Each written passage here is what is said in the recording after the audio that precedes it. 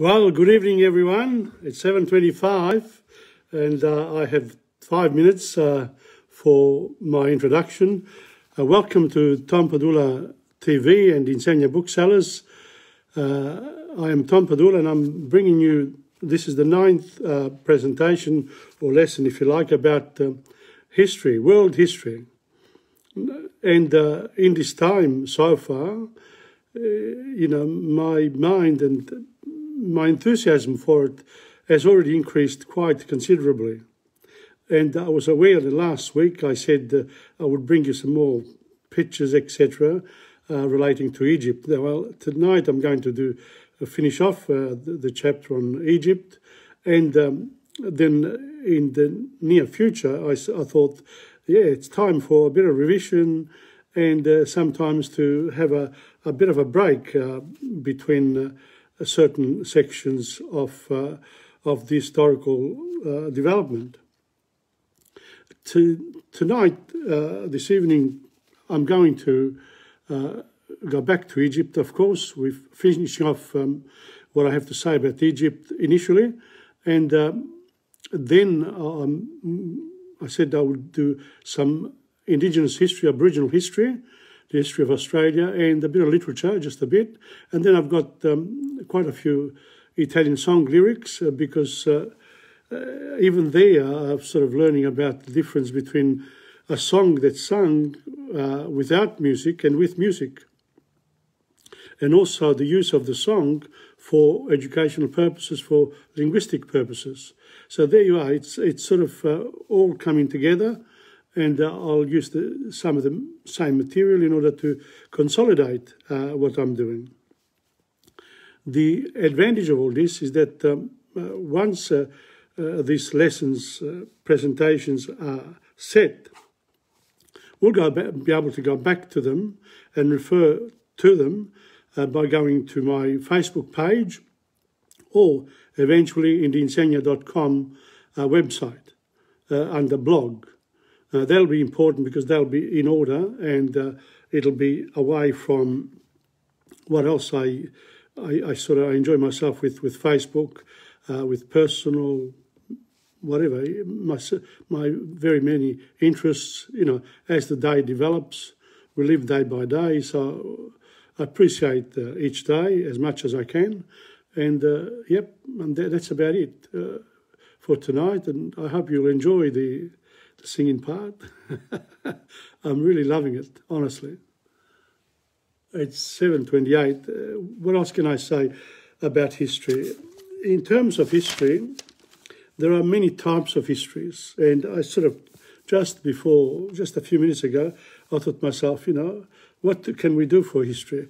Well, we can have a history timeline, what we remember, uh, talking, talking history, Aboriginal or Indigenous, you know, people of Australia, history, history of Italian singing, our personal history, activities from what we've learned in the this history, uh, in the World History series. Uh, you can also have activities from from this. You can travel and go to museums. Uh, you can history of the of the world. In other words, don't just stick to the one nation. Uh, you know, there are continents, so the history of each continent, Europe, North America, Asia, Africa. I haven't mentioned Africa very often. I'm becoming conscious of it now. Uh, history of every nation, local history, economic history, health history, the history of the various, uh, you know, industrial history, agricultural history, singing about singing about history, the music of the world, etc., etc., etc. And uh, uh, I also looked at the timelines and I said, okay, so we had the Stone Age, we had the Copper Age, the Bronze Age, Iron Age, and the Steel Age. So, in other words, the Copper and Bronze Age, that's uh, where Egypt comes in. They were the main uh, civilization of the times, the most powerful ones in terms of the Copper Age. But when the, the Steel Age, uh, the Iron Age arrived, uh, they were overcome by by the Hittites, you know. Uh, so, and we'll come to that in the next few presentations lessons. So it's seven thirty, and uh, I'm going to start.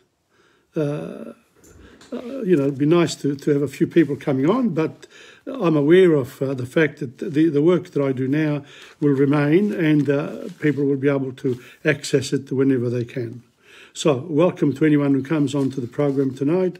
Uh, we're going to start with the invention of the glass uh, in ancient Egypt. Okay? So, later, early in the, in the Bronze Age, early in the Bronze Age, Egyptians discovered how to make glass vases and bottles from sand. That's where the glass came from. Glass continued to be scarce and precious for a very long time. So, even for example, 500 years ago, glass wasn't, uh, you know, in Europe, uh, it, it wasn't that common. Uh, but, uh, but it was there uh, since the Egyptian time. So, you know, it's a very specialized area. And I was lucky enough to go to Venice and look at the way they they, they, sort of used glass to make all sorts of um, figurines and whatever, vases, etc. Now, other craftsmen working with gold and precious stones produced exquisite jewellery that compares favourably with the best work of today. So the best work of today, uh, nice to, have, to see Enza coming on. Uh, uh, the best work of today in terms of the use of gold, silver, compares very well with Egyptian uh, craftsmen of the times. We're talking about, you know, 5,000 years ago. Now, the other, another big area of discovery, if you like, is the fine linen and tapestry. You remember that some Neolithic people learned to weave rough linen cloth from flax fibres. Well, the best Egyptian linen can barely be distinguished from silk. And the weavers became skillful enough to make the first tapestries in the world. So the Egyptians made tapestries uh, from uh, fine, you know, fine linen. Very good. With their copper, later bronze, tools, carpenters and cabinet makers produced rich furniture inlaid with ivories and ebony, plated with gold leaf and upholstered with soft leather cushions. So there you are. It, you know, we saw last last week from those pictures they saw, and I will bring you more of those, but not today. Not today. In a Boston museum, you may still see the ancient sedan chair in which slaves used to carry the queen who was the mother of the pharaoh Khufu, the builder of the Great Pyramid. So around the world, of course, uh, you, know, uh, artifacts from Egypt uh, valuable artifacts that are seen in museums around the world, especially in the United States, even in Australia. Again, you know, uh, this, these things are all over the world. And so uh, there's been, you know, through wars, etc., some of the very valuable ancient pieces have gone into uh, modern cities uh, museums. The, the other big one is um, seafaring. So if we look at the Neolithic age, at the Neolithic age, and uh, we think, well, did they move? Did they go on water? How did they do it? Did they do it on a trunk? Did they uh, build a canoe? What, what did they do? So, and this is where uh, we will come in. We will come in and uh, say, say, look at North America uh, with the Indians and the indigenous people there that built canoes. Now, canoes are also available here in Australia and in Europe, etc. But the Egyptians, even four, five thousand years ago, were able to build uh, a ship with a, a sail to go up and down the Nile. Very good. So here we go. Neolithic and perhaps late Paleolithic men had built crude bark or dugout canoes and later uh, coracles. Now, I don't know what a coracle is, but I'm assuming it's, um, it's a type of boat.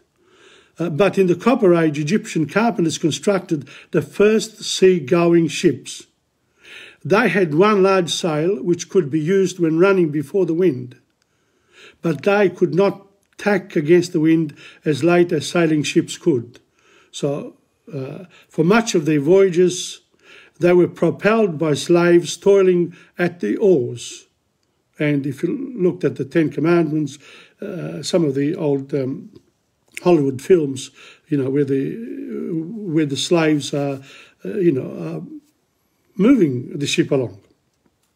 In the Bronze Age, ships of more than a 100 feet long were quite common. And in them, the Egyptian traders made voyages not only up and down the Nile, but also across the Mediterranean and along the length of the Red Sea. The Red Sea is next to Egypt, towards Saudi Arabia and North, you know, Africa, Eritrea, Ethiopia, etc. Now, trade to Syria and Crete. Now, we're talking about 2,000 years before the birth of Christ. The early established, they, the Egyptians, early established a colony at Byblos, Byblos uh, on the coast of Syria, whence they brought cargoes of the famous cedar wood of the Lebanon. Uh, welcome, Nina Alberti, and welcome, Pasquale Robilotta. Appreciate the fact that uh, uh, you, you came on tonight. Egyptian sailors also crossed the open sea to the large island of Crete and to the smaller islands of the Aegean Sea near Greece.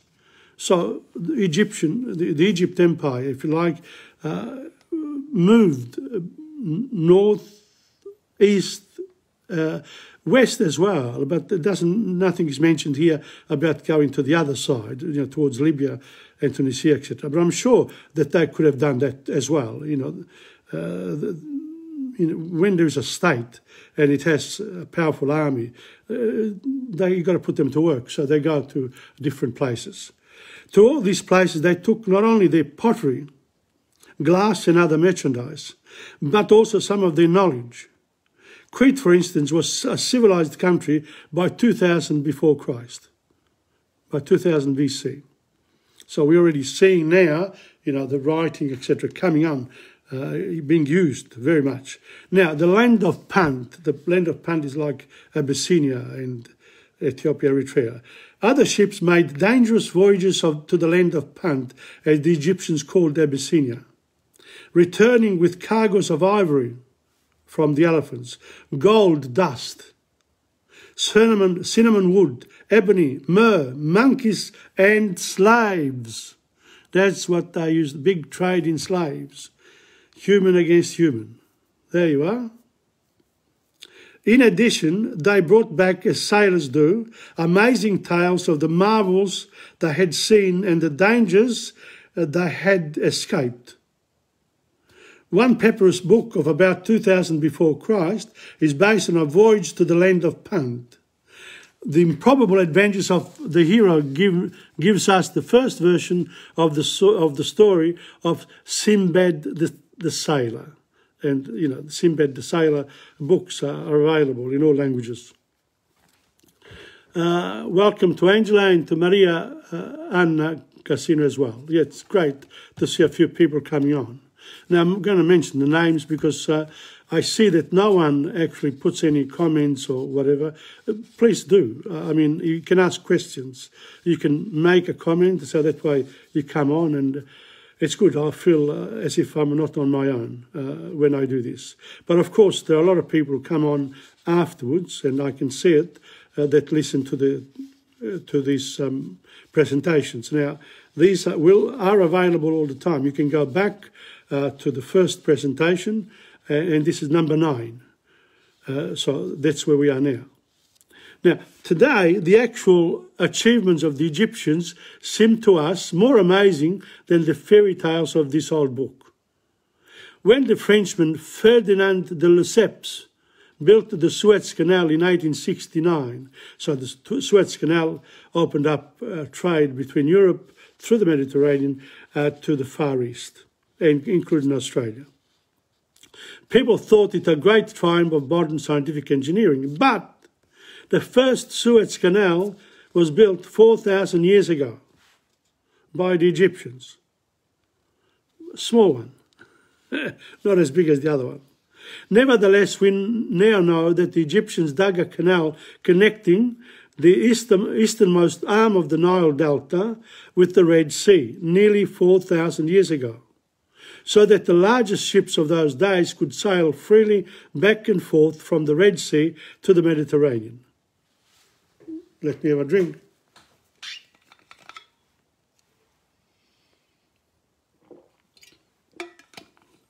So that's uh,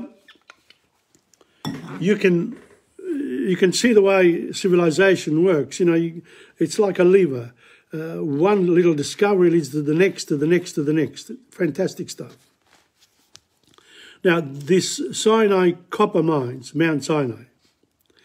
The busiest sea lane of all was perhaps that across the northwestern arm of the Red Sea.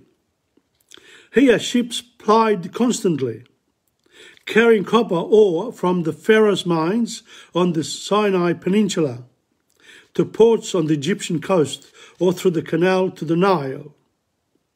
We learned in the last chapter how essential a good supply of metal is for civilized life. You know, making of chariots, uh, arms, tools, implements, all that. You may still see the copper mines on the Sinai Peninsula today, and yet the great power and influence of Egypt, Egypt came to an end about the middle of the 12th century before Christ. It was abrupt, bang. And why was that? This was partly because the Iron Age was beginning, but not as the Copper Age had done in Egypt. So the Iron Age, they say it was about 12 you know, the 13th century before Christ. The Iron Age ends Egyptian power, and that had a drastic effect on uh, Egyptian civilization as well, and uh, the great progress of the great architects and builders of Egypt. It sort of, they too disappeared, literally. And uh, a lot of the works, the written works, also disappeared. So the civilization some remained, but a lot of it went, never to be seen again. Pity. About 1300 BC, large quantities of iron were discovered in Asia Minor by the warlike people who then lived there, the Hittites. Now, the Hittites are the Turks, Turkmen, near Syria. Actually, watching uh, uh, a series called uh, called uh, Resurrection Ertugrul. Incredible. Uh, that's about the Hittites. That's where the Hittites were. Uh, and they caused the end of the Iron Age. And, um, you know, there was a city called Aleppo, Aleppo 5,000 years, years old.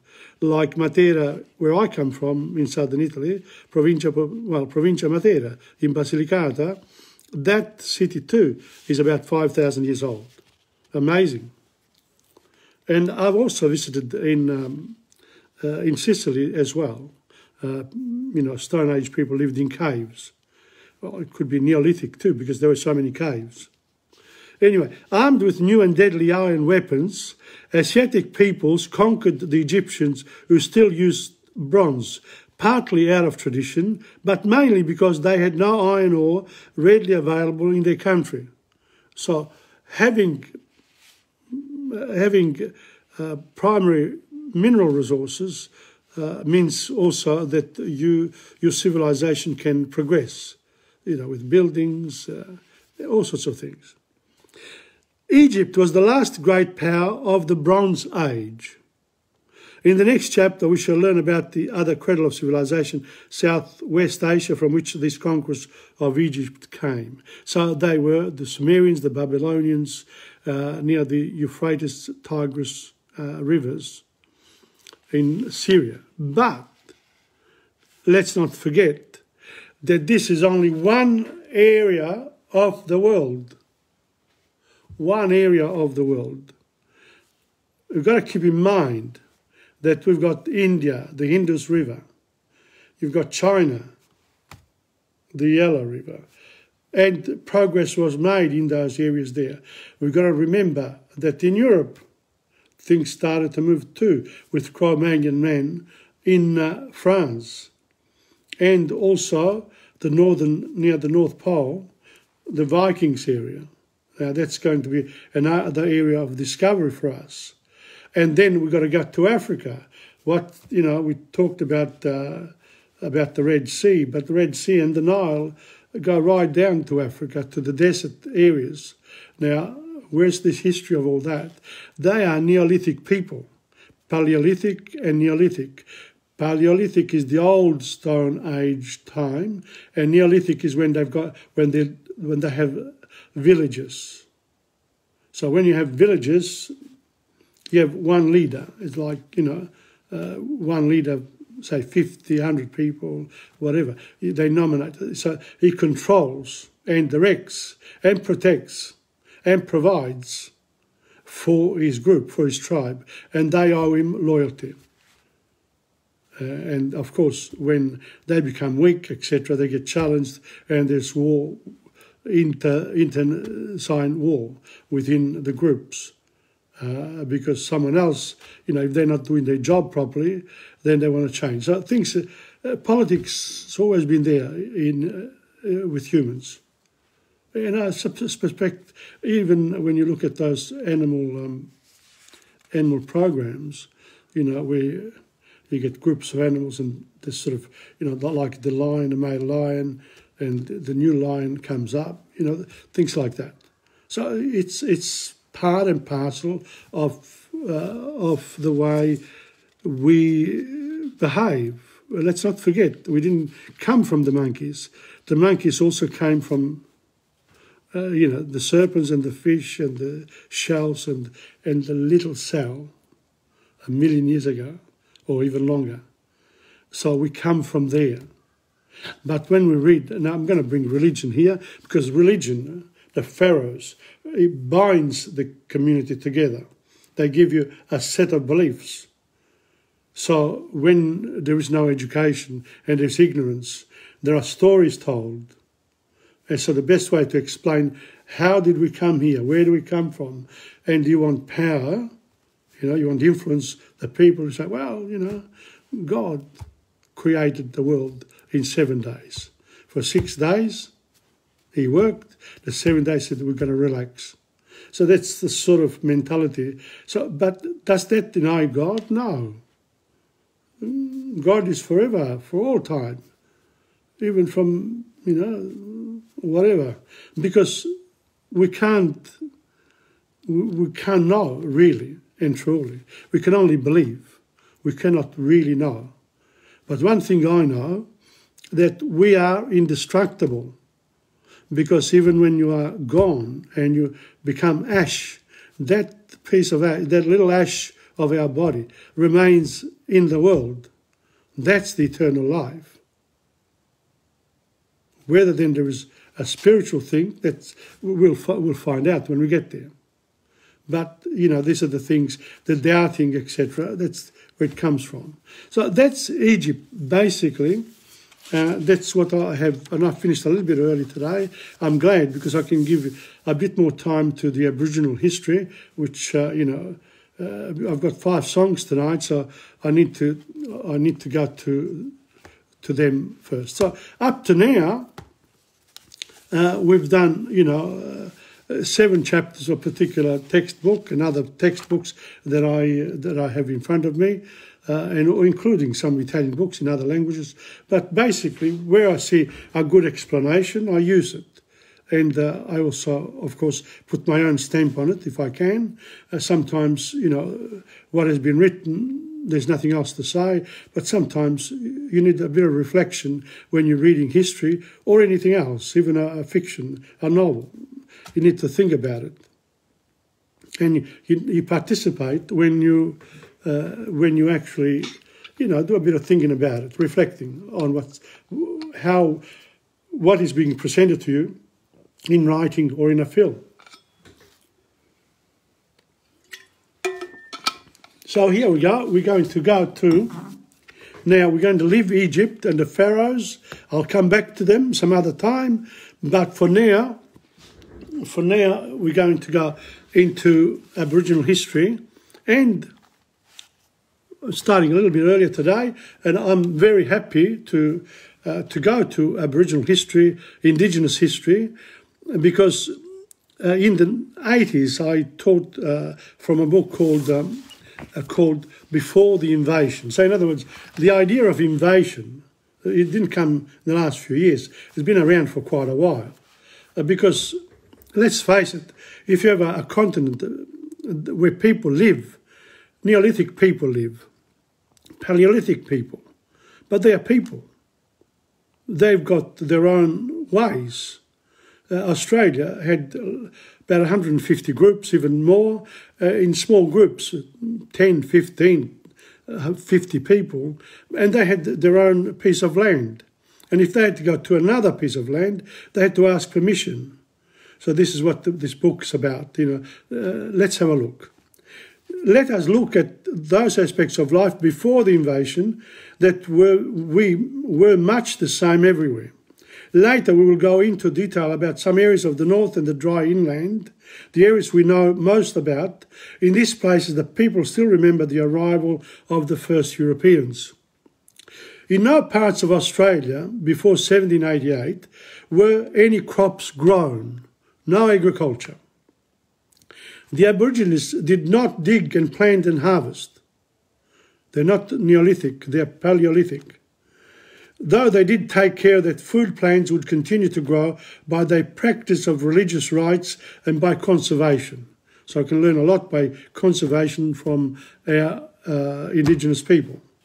Instead, the Aboriginal women went out each day to search for edible roots, fruits, and seeds. Some of this could be eaten raw. Some of them had to be treated and cooked on fire. So the Aborigines had fire.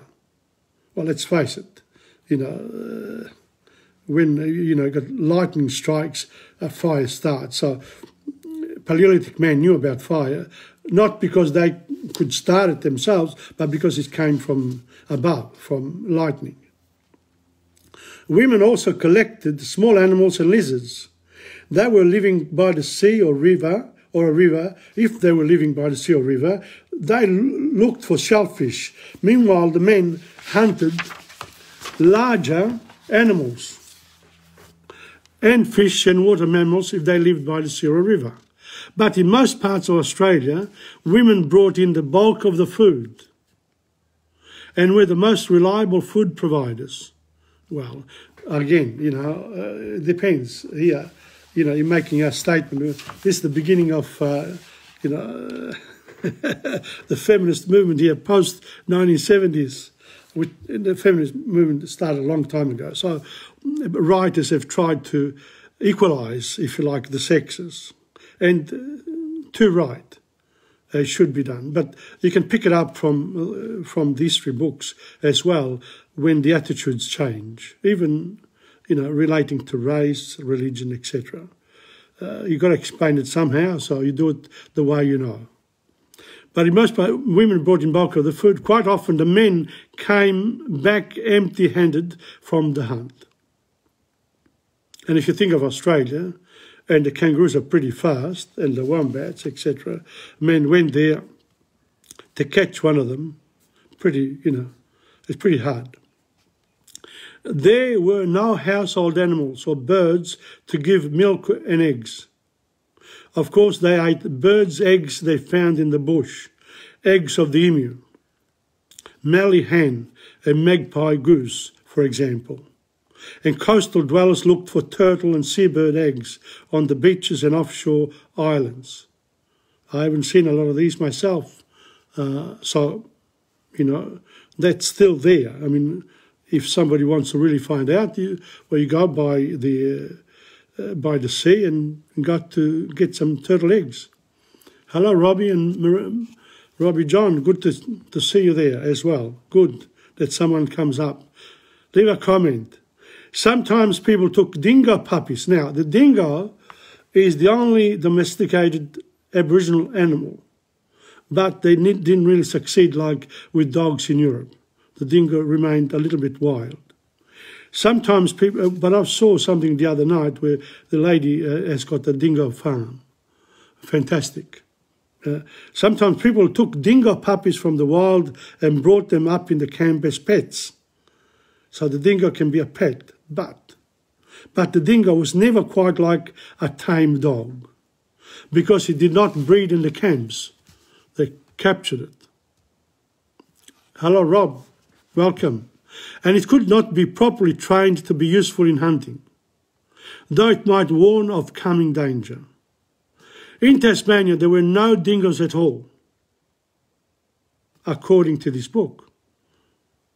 I assume that's correct. Again, you can ask those questions. This life of gathering and hunting meant that the camps the camps had to be shifted quite often to allow the planes and animals to increase in numbers again. As soon as the women had collected most of the plant food near the camp, and the men had killed or frightened away most of the possums, kangaroos, and wallabies, the group moved on. So, really, it's a Paleolithic man near the Neolithic stage. You can't have groups that stay in one place without some sort of hut. You can't do, you know. So, in other words, not it, they're not pure nomads. They're not pure nomads. They're in between Paleolithic, the old, you know, uh, closer to us, uh, to the Neolithic age. But the new move would be to a place which the people knew well. So they didn't just go anywhere. You know, uh, the older people knew where they went when they were young, so they went back there. They regularly went back to old campsites after enough time had gone by for plants and animals to become plentiful again. Some camping places were used for thousands of years. So there you are. When, we, when the British came and said, Terra nullius, no, no one here. Put a flag, boom, 26th of January. And I think it's a good thing that we we keep on reminding ourselves on the 26th of January that this happened. It's not good for the indigenous people, actually, if they say we don't want it on that day. The invasion, the invasion was cruel. But the cruelty that was practiced here was far less than the cruelty shown in other parts of the world, I can assure you. They were quite good here, really, if you think about it, because that was the age of the Enlightenment in Europe. So they weren't real, real rough people. I mean, they were pretty rough, but there was a rule of law too, and they had they came from a higher civilization. They knew that they knew what they wanted, and they could do it through laws and regulations. The minute you know rich people arrive anywhere, they start building, constructing castles, pyramids, you name it. They, they, and the same thing I've seen. Uh, I've seen some films from India, let's say, there are, you know, and the, the Aztecs in South America. There, there are big uh, places where stone was used to build very big buildings. Okay, some camping places were used for thousands of years. They did not wander just anywhere because each group of 25 to 50 persons had a territory. They had their own land. in which they had the right to hunt and gather. They. If they wished to hunt or gather in a nearby territory, then they had to ask the neighbours for permission. Now, how did these people here? The, the three authors here uh, have got Aboriginal, they're, they are indigenous, you know, some of them come from indigenous uh, families. So we have to take certain things for granted. And you can always ask questions. If they didn't, they were trespassers, it could be ordered off. Go away. This is ours. But there was a great deal of coming and going between neighbouring groups. When the territory of one group had been hard hit by drought or flood, then their neighbours would give them food and shelter until the emergency was over. That's what we do today when there's a fire, we help each other. Australia, that's been going on for centuries, centuries and centuries. And one group would invite others to visit when there was an abundance of a favourite kind of plant or animal food. When there's plenty, come on, boys, let's. Uh, and that's probably where but I read somewhere that Australia's total population had never reached more than a million in the whole continent. How did they do it? I don't know, it was a natural process, culture, whatever, but you know, I'd like to see some films about this, real research, where because in other parts of the world they kept on, you know, the numbers kept on growing. In Australia, uh, they were kept under control. Maybe, you know, old people married young ones, the, the other ones weren't allowed. That's what I thought. But you'd have, you'd have to, you know, you'd have to check that. Bogong moths were a favourite food of the Aborigines of the southern eastern corner of Australia, this in Canberra area. Millions of these moths appear every spring in the mountains, particularly around Mount Bogong in Victoria. They're called Bogong moths. People came from all directions climbing the mountains from the lowlands and high plains. Have you ever had a Bogong moth on your barbecue? I haven't. They lit smoky fires under cracks in the rocks, and the moths fell down in thousands.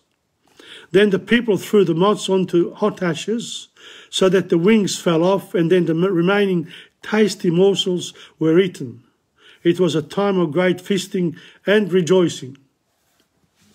There you are. This was before the invasion. One flag. But unless people kept on coming from Europe like they did in North America, what chance had the, the, the indigenous people have against people with muskets and laws and this and that, and you know use of of uh, some cruelty, you know, with uh, uh, killings, etc. In Tasmania, they basically most of the indigenous people of, of Tasmania were gone by the 1860s, 70s. There's a play called Truganini, was supposed to be the last full-blooded Tasmanian. So anyone in Tasmania that comes from indigenous families there is a mix. Further north in southern Queensland, the bunya pines and delicious nuts, and there was a plentiful crop of these about every three years. Then the Aborigines from hundreds of kilometres around came to eat them and take them home, of course. The owners of the pine forest let the strangers come into their territory to eat the nuts. You can only have so many nuts. There were so many ripe at one time that the owners themselves could not possibly eat them all. Now, it's eight or two. I'm going to stop there. I think I've done enough. And I'll continue next time because there's a lot more to come.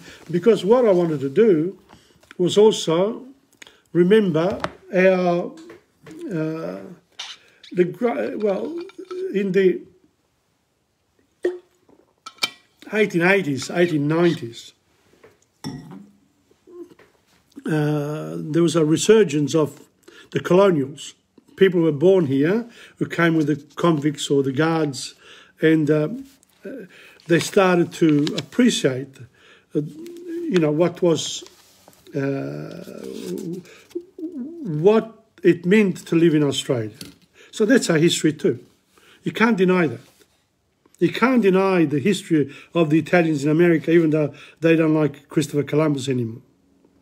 At the end of the day, uh, these are invasions. You know, it's like uh, we now have planes invading each other every day.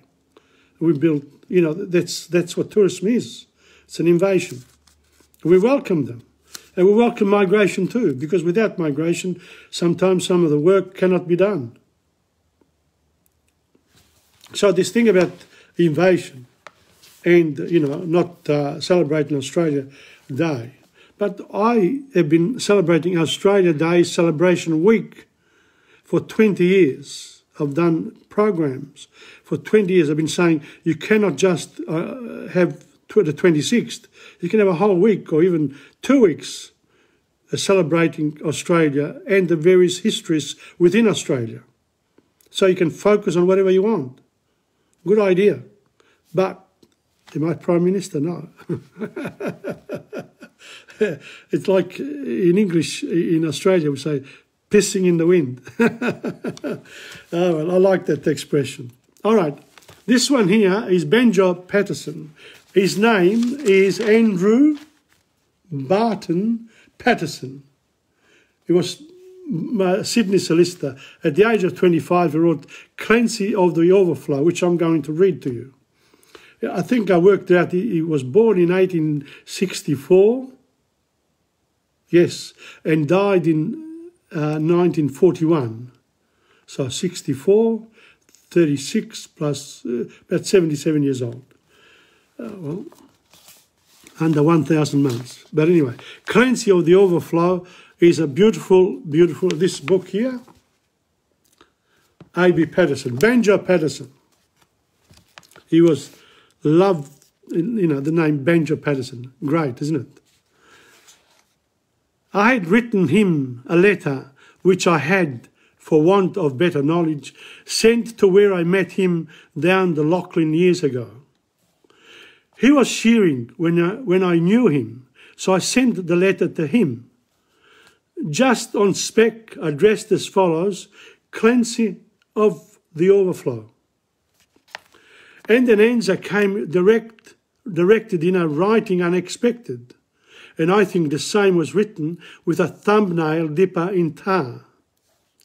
It was his shearing mate who wrote it, and verbatim, I will quote it. Clancy gone to Queensland droving, and we don't know where he are. In my wild erratic fancy, visions come to me of Clancy gone a droving down the Cooper where the western drovers go. As the stock are slowly stringing, Clancy rides behind them, singing. For the drover's life has pleasures that the townsfolk never know. And the bush hath friends to meet him, and their kindly voices greet him. In the murmur of the breezes and the river on its bars, and he sees the vision splendid on the sunlit plains extended. And at night the wondrous glory of the everlasting stars. I am sitting in my dingy little office, where a stingy ray of sunlight struggles feebly down between the houses tall and the fetid air and gritty of the dusty, dirty city through the open window floating spreads its foulness over all. Welcome, Stephen. And in places of lowing cattle, I can hear the fiendish rattle of the tramways and the buses making hurry down the street, and the language uninviting of the gutter children fighting comes fitfully and faintly through the ceaseless tramp of feet. And the hurrying people daunt me, and their pallid faces haunt me, as they shoulder one another in their rush and nervous haste, with their eager eyes and greedy, and their stunted forms and weedy. For townsfolk have no time to grow, they have no time to waste. And I somehow rather fancy that I like to change with Clancy like to take a turn at driving where the seasons comes and go, while he faced the round eternal of the cash book and the journal, but I doubt it'd suit the office Clancy of the overflow. Rob Rowe, Clancy reminds me of you. I know, this been your spirit. You got it there, mate. Very good. Now, uh, Stephen is here. I've dedicated five songs today to uh, to Renato Carosone. Renato Carosone, a very famous, uh, very famous uh, singer, well, musicians above all. And uh, he had uh, quite a stint of 10 years in Africa, in Eritrea during World War II. He was born in 1920 and I think died in 2001. he was just over 80 when he died. And he's left a huge legacy. Uh, but he only had a few years. In, in 1960, at the height of his career, he dropped. He didn't go on. What a pity. But I've got five songs here today, and uh, I have sung this with music with Dora and Rena yesterday. But today I thought, now I'm going to show you the difference between lyrics without music and lyrics with music. I will play the same the same songs on, on the Sunday program when I do Canto 12. So the last quarter of an hour. All right. So here I go. The first one is this one here. Let me see. I have to find it. I have to find it. And I have to remember to do certain things. Okay, here we go. It's called. I sang uh, Mala Femmina with Dora Reno yesterday, and we were talking about, um, you know, the restrictions that music play on on the lyrics. Now, I thought, yep, I'm going to do this again on my own, Mala Femmina, but this time here I'll, I'll give it the expression that is necessary, and at sometimes you cannot capture the expression uh, with the music, with the accompanying music, because music is methodical, whereas um, the lyrics themselves more poetical. So therefore, uh, they need a bit of theatre as well. So let me have a look at it. Okay, I'll try. Mala femmina. Se avesse fatta annata quel che ha fatto a me, stom, t'avesse acciso. Tu vuoi sapere perché? Perché in coppa sta terra, femmine come a te, non c'hanno sta per nome, onesto come a me. Femmina. Tu, si la femmina, chi stocchi fatti chiagnere, lacrime e infamità. Femmina, si tu peggio una vipera, mi intossicata l'anima, non posso più campare. Femmina, si dolce come zucchero, per sta faccia d'angelo, te serve per ingannare femmina, tu sia più bella femmina. Ti voglio bene e t'odio. Non ti posso scordare. Ti voglio ancora bene. Ma tu non sai perché. Perché l'unico amore sei stata tu per me. E te, per un capriccio, tutto è distrutto lì. Ma Dio non ti perdona quel che ha fatto a me. Well, I'll leave it up to you to decide which version one should do. Maybe we'll do both and discuss it even further. Now, with that song there, I'm going to use this in uh, Neapolitan local language dialect. And on Tuesday, when I do my Italian class, I'm actually going to use uh, the dialect and sort of compare it to the Italian. So the song provides me with many aspects of the one thing, and it's important that um, you know that it is so. Now the next one is the next one is this one here. I thought there was another one there. Or it could be this one. Hold on. Let's see. This is another song by Renato Carosone. It's called Che La La. And I'm going to sing, read it uh, as, uh, you know, without music. Mm, I will be doing this with uh, the music with uh, uh, Dora and Reno on my Sunday program uh, this coming Sunday. But for the moment, we're going to concentrate on on the lyrics. Che la la. St'amore mi teneva incatenato, ma ho detto basta e mi sono liberato. Mi pare più turchino mare, mi pare più lucento sole, e sto cantando pa felicità che la la che la la mu va dicendo che mi vola sa se crede che mi faccio o sangue amaro se crede che impazzisco e poi mi spara che la che la non sa che piacere che mi fa ma una piglia nata più bella e zitella resterà, che la che la che la.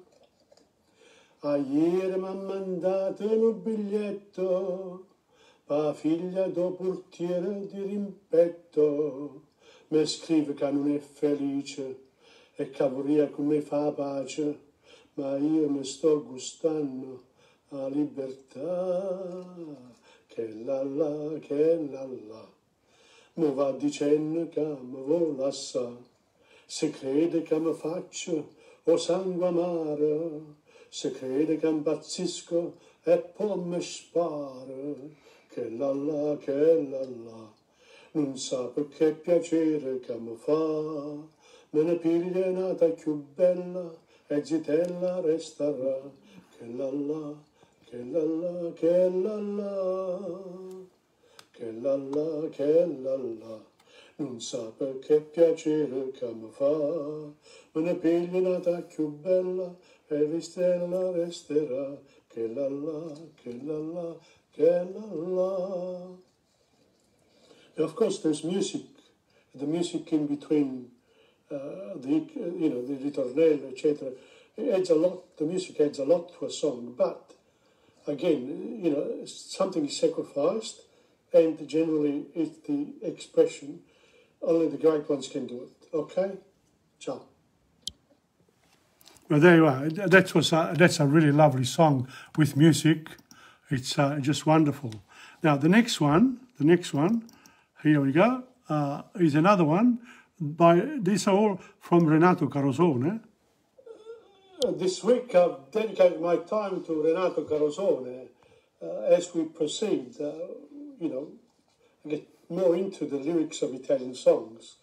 And I will include also uh, the various local dialects, including the Neapolitan one, the Roman, the Sicilian, etc., as we go along. Now, this one here again, it's without music uh, this time, but on Sunday we will do it with the music. But this is called Te piaciuta. Canta Napoli, Napoli matrimoniale, eh eh. Dopo i confetti su asciute difetti, caro Giovanni, mo che ce vuoi fa? Se riflettevi e se bene puntavi, tutti sti guai non stiva a passà, mo chiagnette di spiere e hai voglia da lucca, che non c'è stato divorzio e tu te la zuccà. Ti è piaciuta, ti è piaciuta, tiratilla cara cara, t'ha portato sull'altare, sotto il braccio, insieme a te. Mo te vedo afflitto e stanco, sul coraggio, eh, giù! Se il melone è uscito bianco, e mo con chi t'avo pigliato? Il matrimonio è come il melone, eh, può uscire bianco e può uscire anche rosso. Ma che sei matto, non dormi nel letto, Dinda poltrona tu dormi perché? Dice che a notte la sposa è più brutta, una capa morta te pare vedere. A dota che ha portato, nemmeno più c'è sta, te l'ha pigliata brutta e niente sa fa. Ti è piaciuta, ti è piaciuta, tieniti la cara cara, t'ha portato sull'altare, sotto braccio insieme a te. Mo te vedo afflitto e stanco, su coraggio, uè giù se il mestolone è uscito bianco e mo con chi t'avo pigliato. Ti è piaciuta, ti è piaciuta, tieniti la cara cara, t'ha portato sull'altare, sotto braccio insieme a te. Mo te vedo afflitto e stanco, su coraggio, uè giù se il mellone è uscito bianco e mo con chi t'avo pigliato. E mo con chi t'avo pigliato.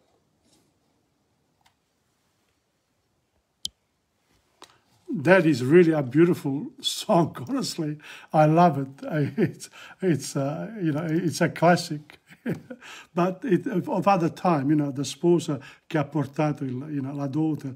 Uh, the women used to bring uh, something to the marriage, but this one here can't do very very much. This song here is very popular and it's always played. It's very lively music. Renato Carosone is really a great uh, artist uh, and uh, marvelous musician and everything else. This one is called O Sarracino. O Sarracino, o sarracino, bello guaglione, o sarracina, o sarracina, tutte femmine fanno innamorare. Te le capille ricce ricce, gli occhi briganti solo in faccia, ogni figliola s'appiccia, si vede passare, una sigaretta a mocca, la mano in tasca, la mano in sacca, e se ne va a smargiasse per tutta la città. O Sarracina, o Sarracina, bello guaglione, o Sarracina, o Sarracina, tutte femmine fa sospirare, e belle faccia, e belle core, sape fa amore, e malandrina, e tentatore, si ho guardato per fa innamorare. E una bionda s'avvelena, e una bruna se ne mora, e veleno calamita, e veleno calamità. che ste femmine che le fa, o sarracina, o sarracina, bello guaglione, e belle facce, e belle core, tutte femmine fanno innamorare.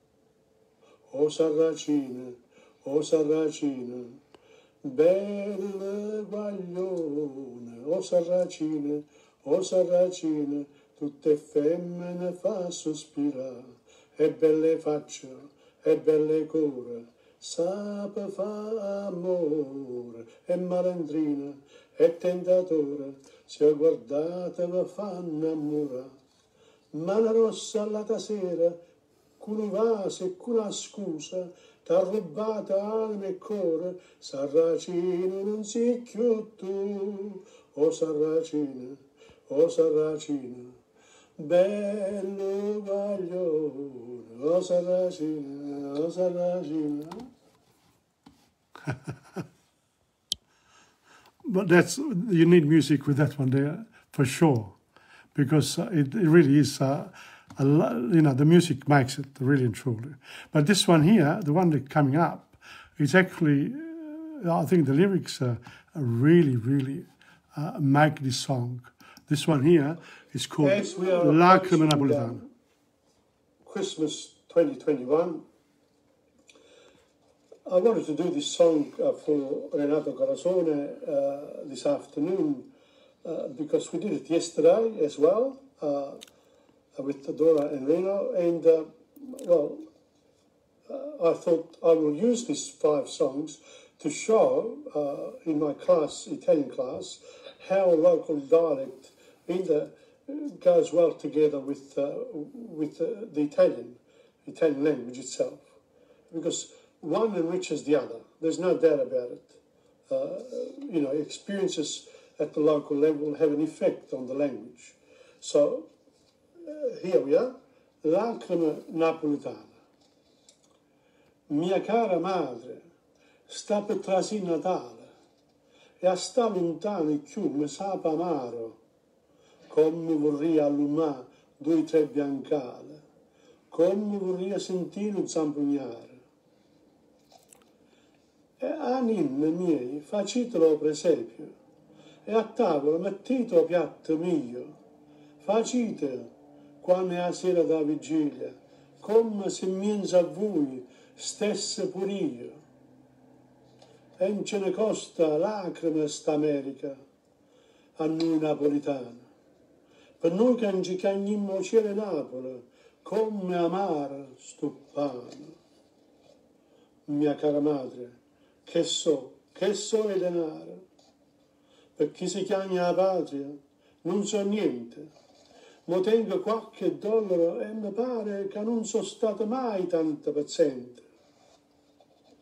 Mi sono tutte le notti a casa mia e delle creature mie mi sento la voce, ma voi vi sono come Anna Maria, con spada in piette, nanta o figlio in croce. E ce ne costa lacrime sta America a noi napoletani. Per noi che non ci chiamiamo cielo Napoli, come amare sto pane.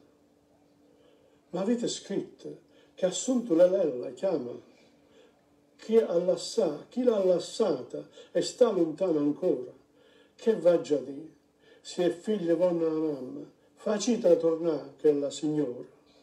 Io no, non torno, me ne resto fuori, resto affaticato tutto quanto. I che persa patria, casa, onore, i so, io so carne maciella, so emigrante, e in cene costa lacrime st'America, a noi napoletani, per noi che ci cagnemmo cielo Napoli, come amaro sto pane. Some beautiful, beautiful words, well expressed, uh, a real story here. But when you sing it, uh, you can actually put uh, quite a few singers uh, do a very good job with this one. They put a lot of uh, a lot of emotion in it, which is good. But again, without the music, the poetry comes out a lot better. Okay, that's it for today.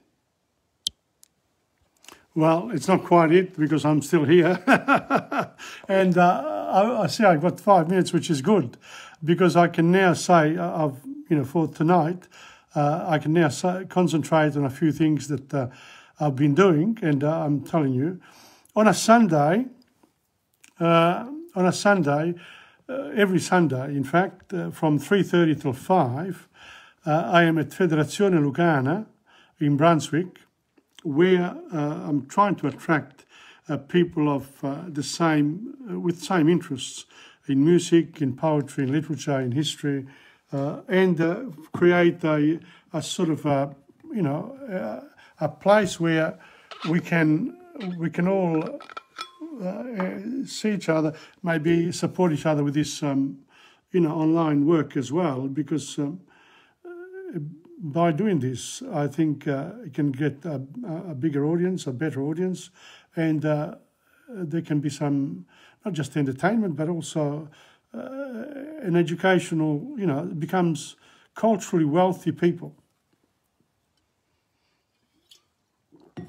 And uh, also, what happens is that um, the language the languages that we use will become better, especially if you come to my Italian lessons, which are grammatical in nature. But I said that um, the practice beats grammar. But without grammar, you cannot uh, improve uh, or perfect the language that you're learning. So it doesn't matter that it's Italian.